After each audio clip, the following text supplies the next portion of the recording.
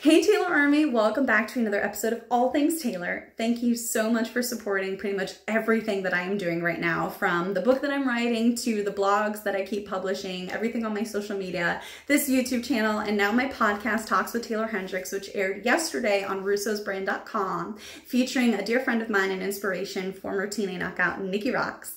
I also have a new podcast that I'm going to be starting called The Times with Taeler Hendrix, where we're going to be talking about all kinds of really fun stuff. So I had actually taped another podcast today, episode two of Talks with Taeler Hendrix. Unfortunately, I am not tech savvy and something happened to the whole interview and it's not here. so I decided to tell you guys a little bit about the interview and who my guest is, and then I will have to re-record the interview with her as soon as she is available and get that posted. I hope you guys are just as excited as I am. I have known this girl since I was in seventh grade. She is absolutely hands down one of the most amazing people I've ever met because she is down to earth, she is very accepting, she's very talented and passionate, and she's just real. So um, for anybody who has been on my channel long enough uh, knows that I did some episodes on All Things Taeler called My Pro Wrestling Experience and I did part one, part two, so forth and so on, my WWE tryout. Well, in, um, in Growing Up Haunted as well as I think My Pro Wrestling Experience part one, I want to say, I mentioned a girl named Sam. So without further ado, I'm going to introduce to you guys with some fun facts about my next guest for episode two of Talks with Taeler Hendrix. Um, my guest is going to be Samantha Johnson Carter. I have known her since I was in seventh grade and she is like my sister from another mister. Um, I didn't have a lot of friends growing up, and I was very much, um, I guess you would describe me as a floater because I have the type of personality where I'm interested in so many different things. I'm a very diverse sort of individual. Um, and with the way I grew up, I didn't really have a lot of friends. Like I made friends easily, but you know, I, I, don't know, I just didn't really keep them because keep a lot of friends because I had so many different interests where, you know, people go their separate ways. But Samantha, uh, she was one of those people that I instantly gravitated towards her, especially when we both found out like, hey, you like wrestling? Uh, I love wrestling. Did we just become best friends? Yup. and that for me is Samantha Johnson Carter. Um, I am very proud of the woman that she is. She is amazingly talented. She has done so many great things. If you have been on my Twitter for several years, a couple years ago, you may have uh, saw me mention, hey, vote for my friend on America's Got Talent. That was Samantha Johnson Carter. Um, Samantha is an amazing singer, actress, comedian, songwriter. Um, she she's a Jill of all trades, essentially. She has an album out on iTunes called, I believe, 27 Underground. Uh, she was a semi-finalist on America's Got Talent. She has performed all over the world for uh, Thriller Live, including Australia, Scandinavia, Germany, and London, many, many more. She moved from Massachusetts to Las Vegas, which is something I can relate to with moving all over the place with wrestling. and she's done a lot of great things where you can actually see her performing at Vegas the show. So there are so many things that we're going to be talking about in this interview, and there's so many things that she remembers that I don't. I've been hitting the head way too much with wrestling, so you guys are going to be getting some really cool stories about Taeler Hendrix before she became Taeler Hendrix. Like stories about us, you know, practicing uh, what our entrances would look like going through the ropes.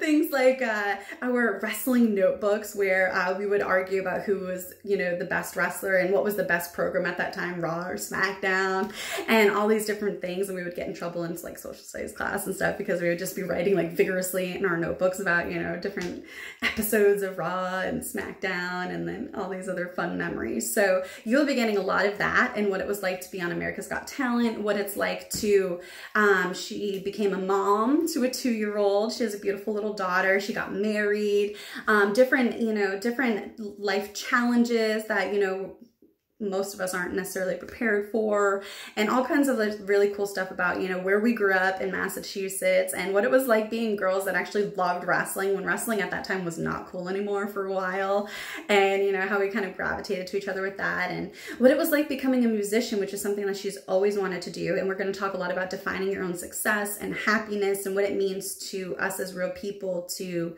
kind of give back to not just our community but other people to help them feel like they can do this too. So I hope you guys are just as excited as I am to meet Samantha Johnson Carter and just to hear all about her and all about our fun times together growing up as young girls in Massachusetts and becoming the women that we became today in our separate industries, but still holding true to the the person that we are, the kids that we were who made way for the adults that we became and the the adults that we want to be someday when we finish growing up. So thank you so much for all your love and support. I hope you guys are just as excited as I am. Again, I love everything about doing this podcast. I'm so I'm so excited and I'm very happy that I decided to do this and then also doing another podcast too called The Times. I really just want to bring back kindness and forgiveness and humanity back to our culture and kind of you know help that disconnect that happens with social media and kind of you know make that more of a positive connection instead of a negative disconnect. And that means the world to me. So I hope you guys really enjoy. Um, as far as the people that keep asking when my next upcoming appearances are, uh, my next wrestling match is scheduled for MPWL versus Lucha Patron in Petal not Petaluma actually, in Santa Rosa, California on April 18th. I'm very excited because every ticket that's purchased for the show, whether the people can come or not, whether they even live in that state or not, it will provide 10 meals to families in need. And it makes me feel like me putting my body on the line in the ring, it means that much more. You know what I mean? Because I'm helping make a difference for people that are hungry.